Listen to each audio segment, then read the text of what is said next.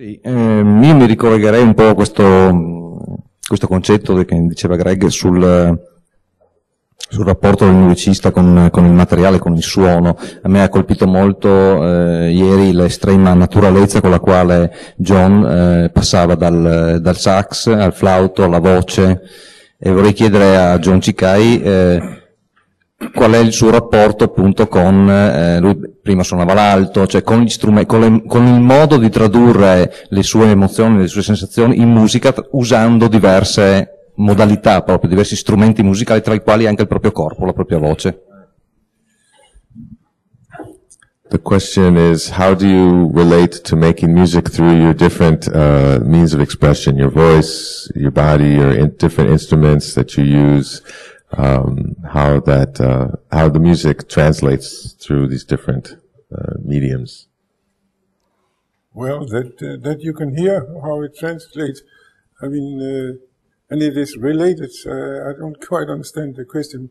It is related because this is the way it happens. So, uh, did you think of different things for different instruments, or is it find different expressions to different instruments, or is it are they all related? Mm. I think that was his question.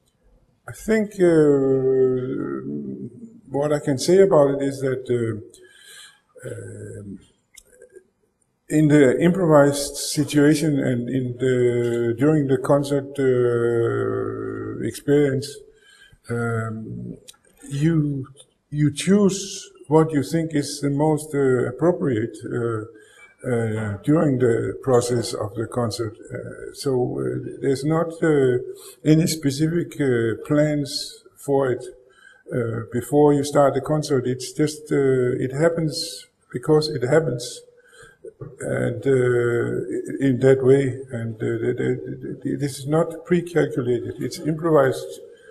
It's an improvised situation. È una situazione improvvisata, quindi uno sceglie nel momento quello che eh, eh, sembra più appropriato, più naturale, più necessario per il momento.